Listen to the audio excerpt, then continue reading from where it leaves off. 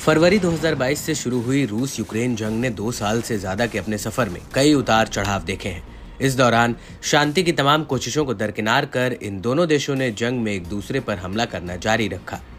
रूस अपने विशाल सैन्य बल और एडवांस हथियारों के दम पर इस जंग में बना हुआ है तो वहीं यूक्रेन के साथ अमेरिका और नेटो जंग में बराबरी के साथ खड़े हैं। दो साल से जारी इस जंग में रूस और यूक्रेन के लाखों सैनिक मारे जा चुके हैं, लेकिन फिर भी ये जंग किसी एक के पक्ष में नहीं हो पाई है।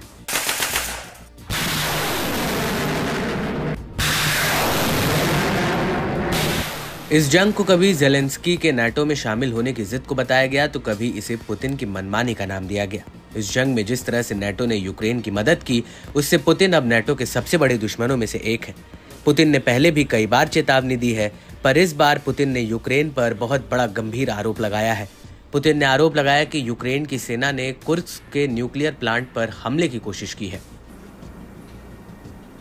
Уважаемые коллеги, добрый день. Собрал вас для того, чтобы обсудить ситуацию, которая э, складывается на данный момент времени в приграничных регионах. रूसी हमलों का शिकार बना यूक्रेन अब रूस के अंदर घुसकर हमला करने लगा है दरअसल 6 अगस्त को यूक्रेन ने रूस के कुर्क क्षेत्र में हमला कर घुसपैठ कर दिया था जिसके बाद से करीब डेढ़ लाख रूसी नागरिकों को कुर्क क्षेत्र से सुरक्षित निकाला जा चुका है पुतिन लगातार यूक्रेन को चेतावनी देते रहे हैं कि अगर उसने न्यूक्लियर प्लांट को निशाना बनाने की कोशिश की तो अंजाम बुरा होगा।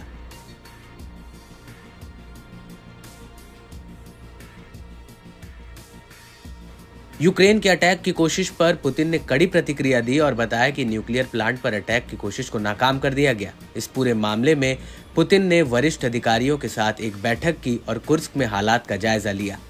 इसके साथ ही कुर्स्क के कार्यवाहक गवर्नर एलेक्सी स्मिरनोव ने पुतिन को बताया कि कुर्स्क में स्थिति स्थिर है, जिसमें चार सोवियत ग्रेफाइट संचालित आरबीएम के एक हज़ार रेक्टर हैं। एक रिपोर्ट के मुताबिक, यूक्रेन ने रूस के क्षेत्र पर कब्जा करने का दावा भी किया है। हाल ही के दिनों में यूक्रेनी सेना ने एक हज़ार से ज़्यादा सैनिकों, बख्तरबंद टैंकों समेत लाव लश्कर के साथ कुर्स पर धावा बोला था। इस दौरान यूक्रेन ने वहाँ जमकर तबाही मचाई थी। ये रूस के किसी इलाके में यूक्रेन का अब तक का सबसे बड़ा हमला था। दावा है कि रूसी सेना यूक्रेन के सैनिकों से जूझती दिखी थी। इस हमले से पुतिन खार खाए बैठे हैं और उन्होंने इसे एक उकसावे वाला हमला बताया था और यूक्रेन को भीषण अंजाम भुगतने की धमकी दी थी।